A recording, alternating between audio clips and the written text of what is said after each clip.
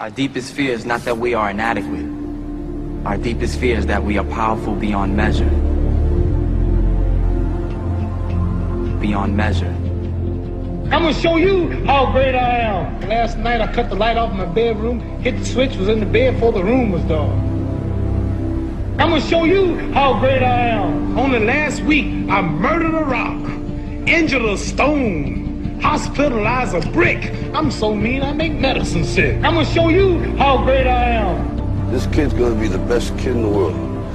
This kid's gonna be somebody better than anybody ever knew. I'm gonna show you how great I am. I have wrestled with an alligator. I done tussled with a whale. I done handcuffed lightning, throw thunder in jail. I'm gonna show you how great I am. All of you chumps are gonna bow when I whoop him. All of you. I know you got him. I know you got him picked. But the man's in trouble. I'm gonna show you how great I am.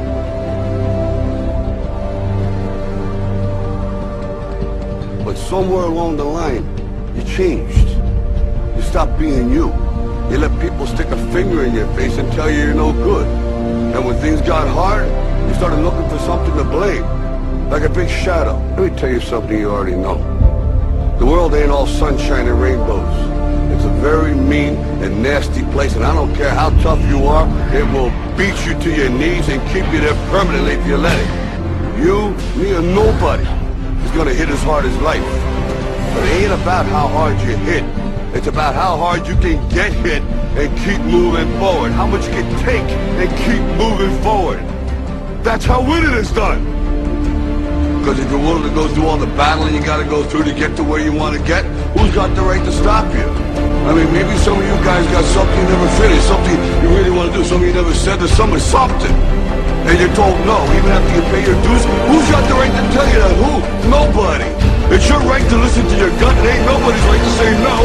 After you earn your right to be where you want to be and do what you want to do.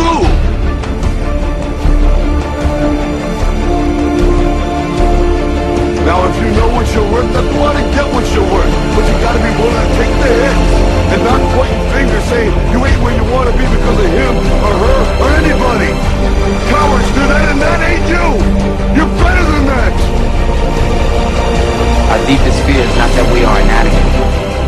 Our deepest fear is that we are powerful beyond measure.